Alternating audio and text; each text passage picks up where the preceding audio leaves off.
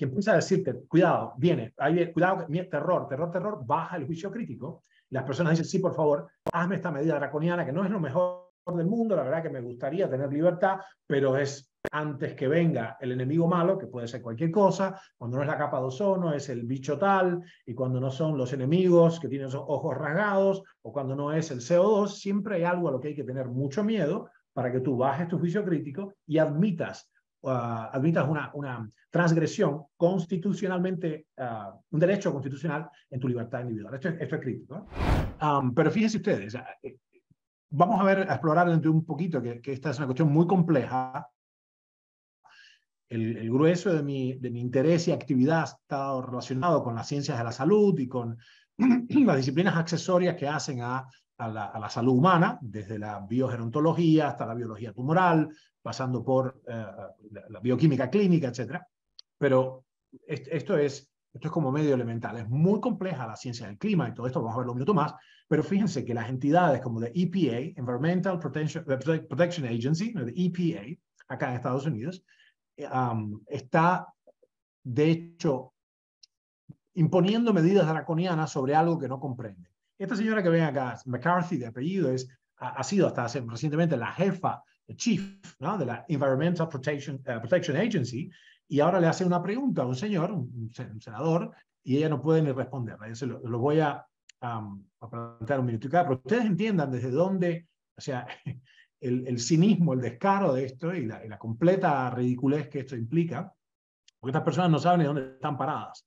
No pueden, como pasó hace recientemente en una perturbación eh, epidemiológica que no mencionaré, donde individuos políticos que no podían explicar la tarea de, de, quinto grado o sexto grado a sus hijos, de pronto de la noche a la mañana eran, se convertían en expertos en, virología y en epidemiología.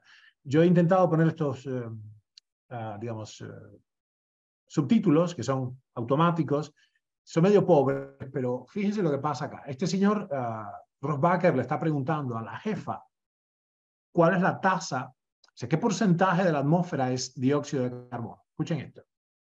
Let me ask you, what percentage of the atmosphere is CO2? What percentage of the atmosphere is CO2? I don't have that calculation for you, sir. Maybe uh, you could tell us what your personal uh, uh, guess is on what percentage of the CO2? I, I don't make those guesses, sir.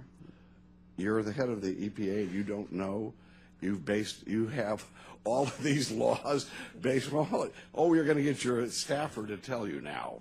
But you're the head of the EPA and you did not know well, what the, what percentage, and, and now you are basing policies that impact dramatically on the American people, and you didn't even know the what the content of CO2 in the atmosphere was, which is the justification for the very policies you're talking about?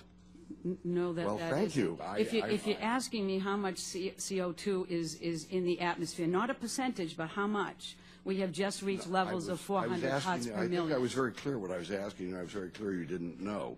Let me ask you if uh, CO2, from what I have understand, uh, is only one tenth, uh, or excuse me, one half of one tenth of one percent of the atmosphere. Uh, and you believe that this minimal, tiny element, and by the way, only 10% of that, from what I understand, is actually man-made.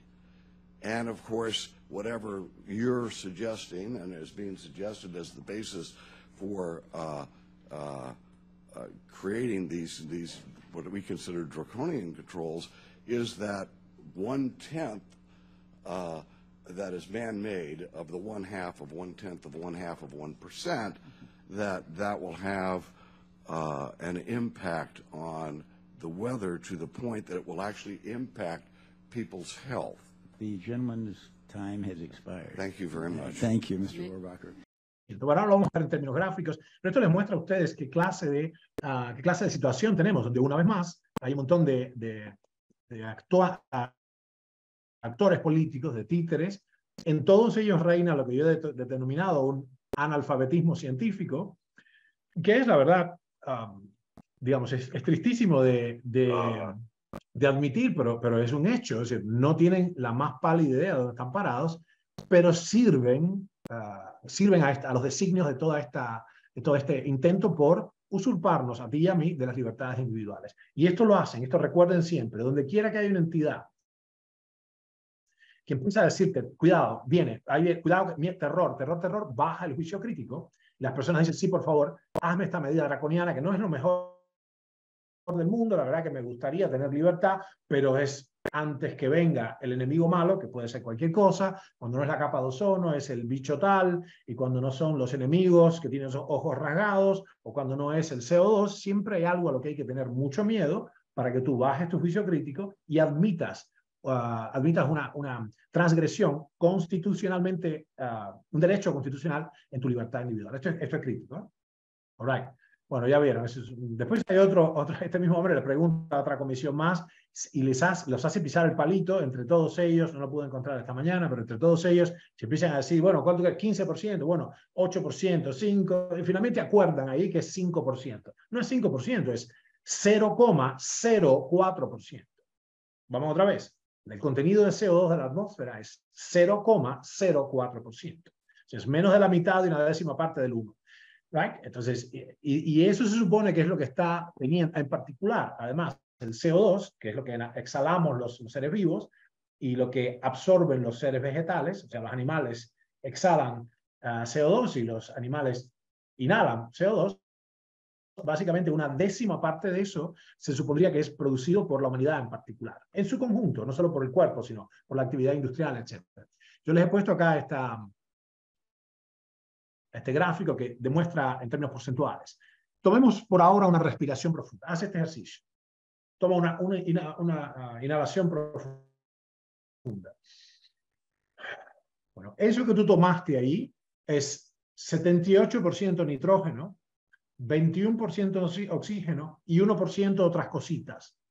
Vamos a desglosar ese 1% y es básicamente 0.93% uh, gases nobles, fundamentalmente argón, ¿se acuerdan gases nobles? Argón, freón, xenón, etc.